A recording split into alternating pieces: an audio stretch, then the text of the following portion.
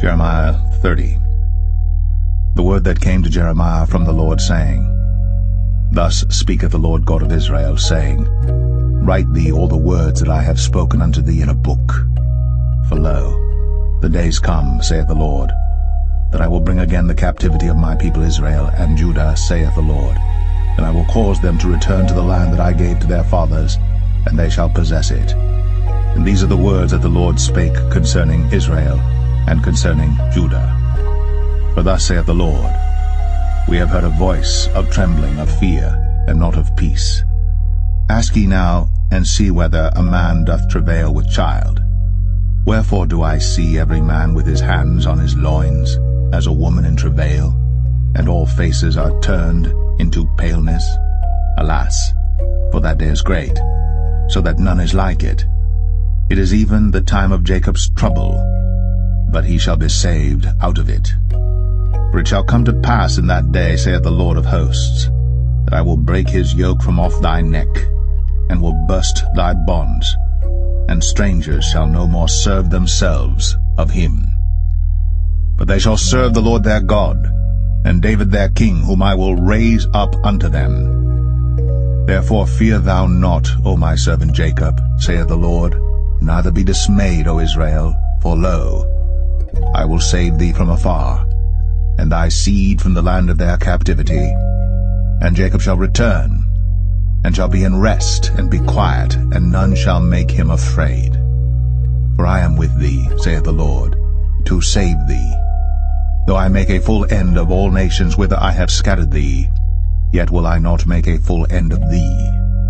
But I will correct thee in measure, and will not leave thee altogether unpunished. For thus saith the Lord, Thy bruise is incurable, and thy wound is grievous. There is none to plead thy cause, that thou mayest be bound up. Thou hast no healing medicines. All thy lovers have forgotten thee. They seek thee not. For I have wounded thee with the wound of an enemy, with the chastisement of a cruel one, for the multitude of thine iniquity, because thy sins were increased.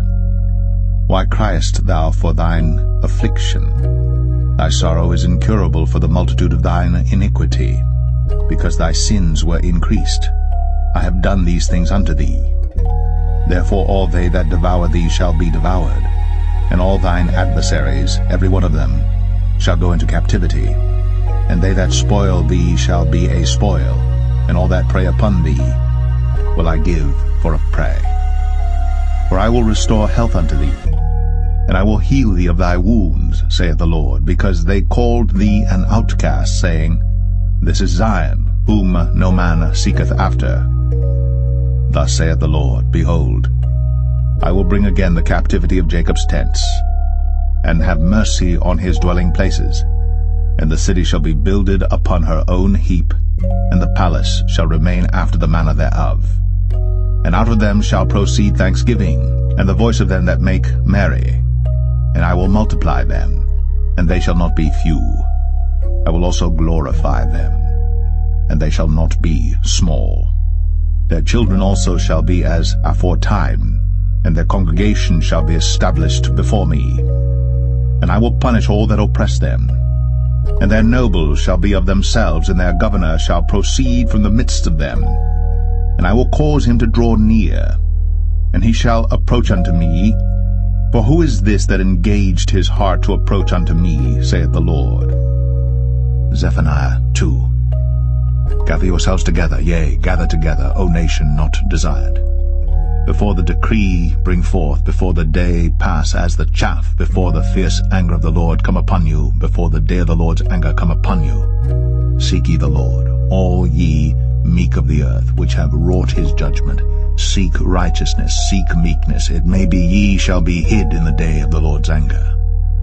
For Gaza shall be forsaken, and Ashkelon a desolation. They shall drive out Ashdod at the noonday, and Ekron shall be rooted up. Woe unto the inhabitants of the seacoast, the nation of the Cherethites. The word of the Lord is against you. O Canaan, the land of the Philistines, I will even destroy thee, that there shall be no inhabitant and the seacoast shall be dwellings and cottages for shepherds, and folds for flocks. And the coast shall be for the remnant of the house of Judah. They shall feed thereupon. In the houses of Ashkelon shall they lie down in the evening. For the Lord their God shall visit them and turn away their captivity. I've heard the reproach of Moab, and the revilings of the children of Ammon, whereby they have reproached my people, and magnified themselves against their border. Therefore as I live, saith the Lord of hosts, the God of Israel, surely Moab shall be as Sodom, and the children of Ammon as Gomorrah, even the breeding of nettles and salt pits, and a perpetual desolation. The residue of my people shall spoil them, and the remnant of my people shall possess them. This shall they have for their pride, because they have reproached and magnified themselves against the people of the Lord of hosts. The Lord will be terrible unto them, for he will famish all the gods of the earth, and men shall worship him, every one from his place, even all the isles of the heathen. Ye Ethiopians also, ye shall be slain by my sword. And he will stretch out his hand against the north and destroy Assyria, and will make Nineveh a desolation and dry like a wilderness, and flocks shall lie down in the midst of her. All the beasts of the nations, both the cormorant and the bittern shall lodge in the upper lintels of it.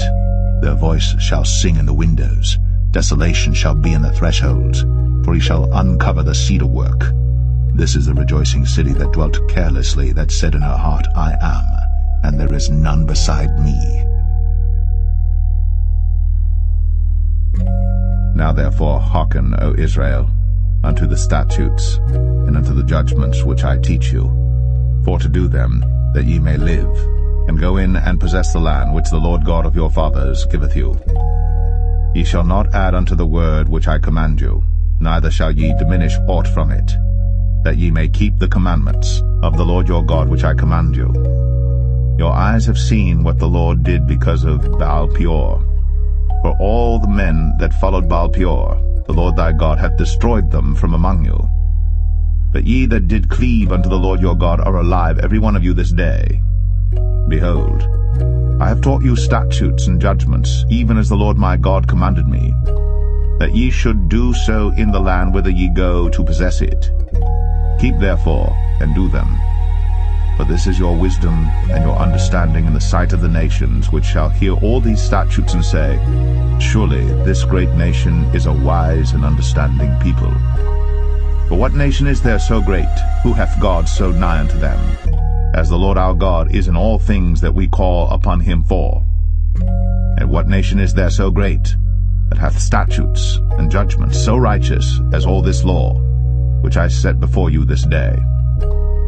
Only take heed to thyself, and keep thy soul diligently, lest thou forget the things which thine eyes have seen, and lest they depart from thy heart all the days of thy life.